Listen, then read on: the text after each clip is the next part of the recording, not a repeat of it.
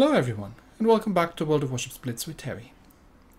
Today, we are looking at British battleships. Well, at one British battleship really, because in the update 6.1, the British battleships have been buffed. And I'm really, really keen to see if these buffs are going to make them viable.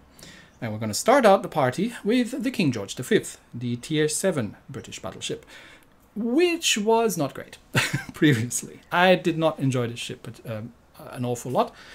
And uh, I think that was pretty much of a common sentiment that the ship was going to meh. So what have they done? Well, they've reduced the main battery reload. They've given her a, an extra 4% dispersion and a little bit of small caliber AA. Now the AA, you're not an AA ship, but let's have a look at the other things.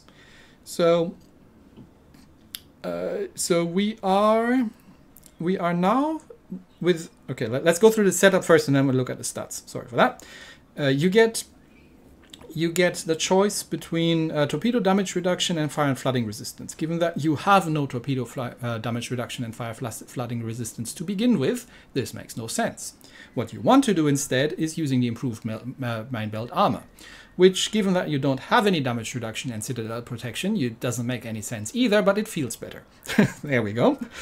So, uh, camo uh, uh, equipment wise, I am actually running the ship with the main battery reload and uh, that's I think how I had her set up before. And you could argue that you maybe want turret traverse or something, but I like the main battery reload mod on this one. It just it really in combination with the slight reload increase and the rapid reload build, uh, it feels like it feels like something I want to go full on rapid reload on these things, because that's really what the gimmick is here. Uh, that obviously fire supremacy skill to give you an additional rapid reload. I'm not playing with the master reloader because it's a tier 7 ship, so I'm assuming you don't really have a, a, a, level 10 captain necessarily when you're grinding through the ship. And when you're, if you're already at tier 10 and you've got a fully decked out commander, why would you still be grinding playing a tier 7 ship?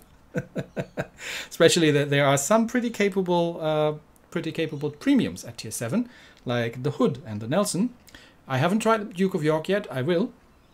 But uh, for now, uh, that's the thing. So, with no historical camo, how does this ship now look like? Well, we've got a 13.7% pit citadel prote protection, which isn't great. We've got a 14% damage reduction, which isn't great either, but it's workable. And we it's actually not as squishy as you'd think. We do have a pretty a pretty decent uh, maneuverability on these things. And we've got the main guns down to 18 seconds. And these things got rapid reload. So uh, this is starting. This is starting to be fun. This was a little bit of a nudge. It wasn't a massive buff, but it was a nudge. The other thing that I really feel, and I have no data or information to back this up, but that I really feel has changed is the penetration. It feels like there has been a penetration buff on these guns because, oh boy, they feel like fun. So the gimmick with the British battleship is obviously that they have um, very, very good. So they've, they've got a longer fuse on the high explosive and they're doing a lot of damage, but in return, they've got a shorter fuse on the armor piercing, and the armor piercing tends to be a little bit on the mass side. The AA is a bit better, but the small caliber AA, which is the one thing that um, that has actually been improved, uh, has a 1.5 kilometer range. So at best, you will be punishing planes after they've dropped things on you, but uh, it's not an AA battleship. Still, it's um, you know it's nice to have, but uh, don't expect to be shooting down fighters or, or um, uh, bombers in droves or anything like that. Right then, so uh, like I said previously, um, I was not super convinced um, she's got 10 guns, which is nice for um, 47 and an 80, 18 second base re reload together with a rapid reload. Kind of together with a decent maneuverability, kind of start, started to make me think, you know what? This feels like a ship that you should play a little bit more aggressively. A bit more like a battle cruiser, really. So let's try. First round, we are top tier, and there's a carrier in place, so we can test that new fancy uh, improved AA of these things. Uh, epicenter frozen shelter. We're playing against uh, Hiryu, Prinz Heinrich, another King George, and a Black New Orleans. So all out tier 7. We do have a Fuso, which is a tier 6 on our side. Uh, but uh, we do also have a Kaga, which uh, tends to be rather uh, rather intimidating. So off we go. Um, like I said, uh, it feels almost like you want to be getting a little bit closer and um, blasting people in the face with this thing. I, I have I found that the high explosive does really reliable damage. So if you're fighting enemy battleships, especially at longer range, the high explosive is probably a decent choice. Uh, if you're fighting very, very light cruisers that you would otherwise overpenetrate, the high explosive is not a bad choice either, because you can citadel with that as well, with the uh, with the longer fuses. But the armor piercing is not something you actually want to disregard on these ships either. So uh, both are, are decent choices. Anyway, uh, we're going to go straight in the middle here, because Frozen Shelter has lots of island cover and there are no destroyers. So, I mean, there's one, but it's a bot, so we don't care. Obviously, the carrier being a problem, but I have now improved AA, so it's time to put it to a test and see what we can do about this. Uh, friendly carrier is scouting, has found the destroyer. Uh, I've, I've left the HE on for now, because again, long range, uh, especially against battleships, not a terrible choice, and if you get surprised by a destroyer, not a terrible choice either. Uh, we might as well just try and see if we can hit the bot Akatsuki from here, but uh, I don't have vision on it, so it's just blind fire at this point, and I think I've missed most of these. Yeah, that was a little bit too high. And we are just going to try and get ourselves into the center, because that's probably not uh, not a play, not somewhere um, that where the uh, the enemy team generally expects you to be. And look at that dispersion. I mean, obviously the bot is just has just doing this because the, your dispersion doesn't matter. Uh, there's the enemy King George, there's the uh, Black New Orleans. So uh, we can uh, probably unload one more at point blank at the at the Bot Akatsuki. And then um, we'll squat that center cup here and make ourselves useful. Okay, enemy King George, hello. And I can use the secondaries against the bot, but the bot isn't really a danger. Okay, single fire. Are you going to Damacon the single fire? Um, let's see is coming under torpedo attack. So, uh, and there you see, right? HE Citadel on an enemy King George. no problem. Doesn't mean you have to fire HE the whole time, but um, uh, it's it, it's not a terrible choice. And the dispersion feels a lot better than before. Uh, it's a permafire. Let's see if we can get another one. Uh, I'm not always using the. I'm not always using the. Um, uh, oh, we shot an aircraft down. Oh, we shot two aircraft down. Well done, us. Uh, the Fuso, is that a bot? Um, it's too dim to see. I think it's a bot, so we may as well leave the high explosive on. But um, I do want to switch to the armor piercing and see if I can do something about that uh, Black New Mexico. Also, it's getting a little hot in here. The um, uh, There's the Prinz Heinrich coming around the corner. Uh, me meanwhile, the Kaga has taken out the King George. And I want to see what I can do with the armor piercing against that thing and then get get uh, get myself out of here because my heal is on cooldown and that's a Prinz Heinrich over there and I do have a uh, and there's still a bot. So bots take at, this point if he fires armor piercing can get nasty as well. So uh, of course double double fire from something not sure what that was but uh, as you can see uh, armor piercing doing pretty pretty reasonable damage against the New Mexico. Okay there comes the Prinz Heinrich so we do want to get out of here and uh, unfortunately, we're not holding the center cup because something came through there, I presume. But we are now drawing a lot of fire here. And um, I am thinking New Orleans is probably a good target for the armor piercing. Uh, Semi-pen, quite disappointing. But uh, if we can finish off the New Mexico, yeah, that was better. Uh, that's one down. Uh, obviously, I'm on fire again. But uh, we've got the rapid reload up, and this is a Prinz Heinrich. This is a battle cruiser, not a battleship. So armor piercing it is. And manual aim on the deck plating. There you go. that hurt, didn't it? now that thing's got torpedoes, so we do need to vary our course and speed a little bit. And uh, we've got got one more salvo, but the dispersion is great, in my opinion, much improved at this range. Okay, that might have been an unlucky hit. But, um, or maybe we're getting too far away. But I'm running out of hit points here. So, uh, unfortunately, fortunately, the Kaga is helping.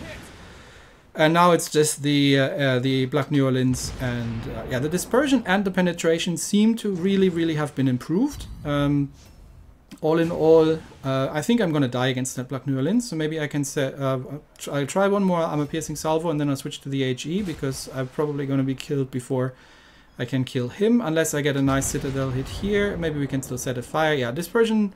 That one wasn't so great, but. Um, You've seen some of those salvos. That was really, really nice. So um, I, I am I am I'm a big fan. And actually it looks like I get another salvo off. So if I had the armor piercing that would actually have been better. But well I've got the HE now, so that's what it is.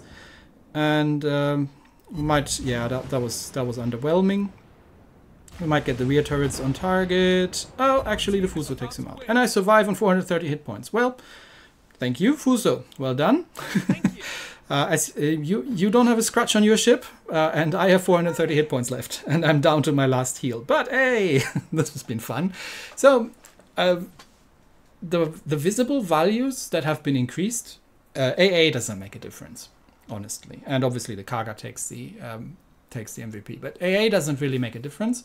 The dispersion, however, feels much feels much improved. The penetration as well, and the uh, the, re- the, the little reload buff with a full rapid reload build turns this, in my opinion, really into a fun ship. So let's do that again. Second battle, we're bottom tier. So uh, Roma, Kansas, Nagato, double Nagato, and Black New Orleans again, uh, Kagero, and a Shiratsuyu. And it's it's encounter. So off we go, and we'll see we'll see how we can make ourselves useful. Uh, still not a huge tank, right? You do have to be a little bit careful with uh, with enemy fire, especially if you're bottom tier. But um, a fun ship, and uh, and see that that's kind of really the the difference in just gut feeling I got from from playing the ship again. Um, it was kind of okay before, but it wasn't great, and it's for a tier seven now. I think it's a really good ship actually. So Let's follow that uh, Loyang. We've got a Charles Martel with us here. Uh, obviously, that given that we're bottom tier, especially if something like Roma is starting to focus us, we do have to be a little bit more careful. But um, we certainly can make ourselves useful. Now, uh, Loyang is going middle, which is unfortunate, which means he's which means he's not going to scout the the inevitable destroyer that's going to come down this uh, this route here. Uh, unless they're lemming training all the way. But we'll see. I do have cruiser support, which is good. And there's the Kagero. Okay, both destroyers going middle on the enemy side. Okay, cool. Uh, Black New Orleans, uh, something we can shoot at. Let's unload the high explosive at that thing and then switch back to the armor piercing. Were they on sale or something? Not sure why I'm starting to see these things again, but um, hello. Leave my destroyers alone uh, rapid reload up because uh, I know it wasn't an ideal rapid reload, but uh, he is now dodging torpedoes and he's giving me a nice flat broadside. So let's get a couple of shots in. And there's a nice citadel on it. and that's half of that thing gone. Uh, well, unfortunately, we can't really utilize it to its fullest. Um, that Luca Tarigo is very brave and I think probably very dead as well, unless I can blap that New Orleans out of the water very quickly. Let's try that. He is going he is going in. Ah, double citadel, but it wasn't just enough to kill him. And um, somehow, somehow my somehow my destroyer is still alive. But I, I doubt that that's the case for much longer. He does. He, he inks. But um, yeah, he's dead. Nagato got him. Okay, let's kill the, the Black New Orleans. I think someone else got him. Charles Martel got him. Alright, so that's... Uh, the destroyers were going middle. They've lost both of them. I don't even know. I haven't been paying attention to what happened to them. But um, uh, double Nagato. Yeah, we can take him. Alright, let's go! Hello, Mr. Nagato. Manual aim up, deck plating. Uh, over to high explosive at this range. Heal up the first one. And yeah, at this range, HE is better. But uh, let's duck under his shots and uh, scream very loud. Cover the cover the Henri, and uh, let's uh, let's see if we can set some fires on that Nagato over there. Hello. Uh, Nagato is actually pretty tanky. It's a very, very good uh, tier 7 battleship. Still one of my favorites, to be honest. Uh, that's a double fire on the Nagato. Is that going to give me a Damakon?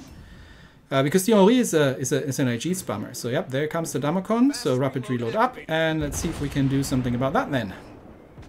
Hello? Uh, permafire? Not yet. Might have been too early. But he is running into all those Loyang torpedoes. So that's a dead Nagato. Uh, shouldn't have bothered. Okay, no, Nagato dead, well done. Uh, Roma, hello, full health Roma. Leroy Jenkins, full speed ahead. And damn the, well, not torpedoes because the destroyers are dead. Double fire. Damacon? Roma? Uh, Roma seems busy. Uh, Dabak? No, no Damacon. I'll take it. Uh, let's see if uh, you want more fires. Here, have more fires. so let's push. Let's push Roma. Uh, triple fire. Uh, now he Damacons. Okay, I can live with that.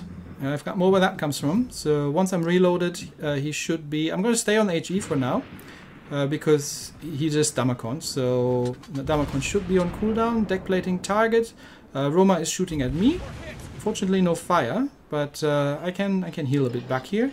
Let's get ourselves in secondary range because we're in a British battleship. That's what we do here. And uh, yeah, Roma still needs to turn his rear turret around, so he's only got six guns on target for now. And I can take that on the belt. Uh, he's also need to dodge torpedoes. That's a perma fire. Uh, nice dodge on the torpedoes. But uh, let's see if we can get a couple more fires in before uh, before we go behind the island. Come on, come on. I want one more salvo off. Come on. And forward turrets out. Secondaries out. Uh, he's on triple permafire. Yep, that Roma is not having fun. so he can burn. Uh, Nagato, hello. How are you doing, Mr. Nagato? Shots out. Let's see if we can get a fire on him. Roma is merrily burning over there. And that was no fire. Come on, turn, turn the turrets. Uh, Roma is still alive and seems to have managed to do something about his... No, he's not. Nagato, Nagato took care of him, so uh, that was a bit mistimed on the rapid reload, but we got a fire on the Nagato. Damakonda single fire, there you go. Unnecessary, you're dead anyway, but um, you know, I'll take it. And shots out, see if we can uh, we can get another fire. We need to lead a little bit more here, I think. And uh, we'll just see how much damage we can still farm. But yeah, uh, like I said, I, I am enjoying this ship. I'm, I'm really having fun in this ship. Uh, and we actually already won, so... Uh, I think somebody capped out. I haven't paid attention. I, am really enjoying the ship. It's uh, it's a it's tur. It doesn't look like it on paper, and again, I, I don't have any evidence for that. But I feel like the penetration has been buffed because these guns are slapping like crazy at tier seven now, and um, uh, the HE is good. The reload really really helps.